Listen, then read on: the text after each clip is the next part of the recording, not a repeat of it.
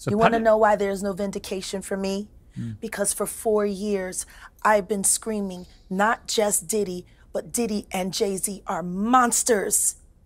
A lot of people have been questioning, well, she doesn't really know him. She has no knowledge of him. She doesn't have a picture with him. I'm smarter than Claudia Jordan. I would never take a picture with the devil. Hey guys, welcome back to my channel. I hope you guys are good guys. Today we're going to be reacting to Jaguar Wright tells Piers Morgan that Jay-Z is just as much a monster as Diddy. Guys, this is a very serious allegation. So it should be allegedly. But guys, ooh, the whole thing going on. Let's just get right down to it. So you want to know why there's no vindication for me? Mm. Because for four years, I've been screaming, not just Diddy, but Diddy and Jay Z are monsters. And the victim making machine kept going on. Jay Z has been notable by his silence since uh, these charges were brought against Diddy. Why do you think that is? Because that's what he does.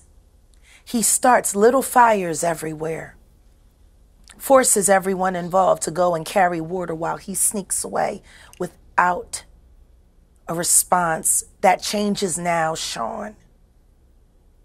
You must respond. You have no choice. Harvey Weinstein, Jeffrey Epstein, Robert Kelly, Sean Combs have one person in common professionally and privately. Sean Carter. This has been a fist of tyranny that has been punching through our culture and our society for decades. It must stop. There's been obviously a lot of cruelty free artistry. Right. There's been a lot of uh, rumor mill about what has happened in the rap world a lot of allegations that the misogyny in the lyrics clearly was based on a hmm. general misogyny towards women away from the music. And that clearly seems to have been borne out by these charges against Diddy, which, if he's found guilty of all this, he's never coming out of prison. How dangerous do you think? Thank God. How dangerous do you think he is as a person? I think he's one of the most dangerous people I've ever met. A lot of people have been questioning, well, she doesn't really know him. She has no knowledge of him. She doesn't have a picture with him. I'm smarter than Claudia Jordan. I would never take a picture with the devil. Everyone knew he was the devil. He's been the devil for 30 years.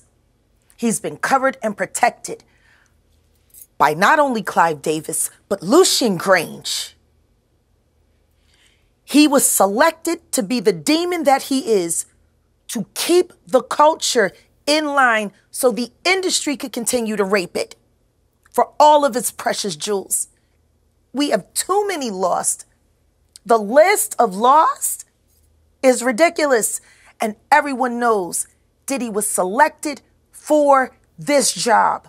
Guys, hearing this just like sent shivers down my spine because I'm like, so many i know i know that when it comes to the entertainment industry not just hollywood but like almost everywhere things go on in the industry that we normal citizens are not just aware of and like you bring it to us we're like it's a lie. I don't believe you. But things are happening and i'm shocked. Like i am really really really shocked.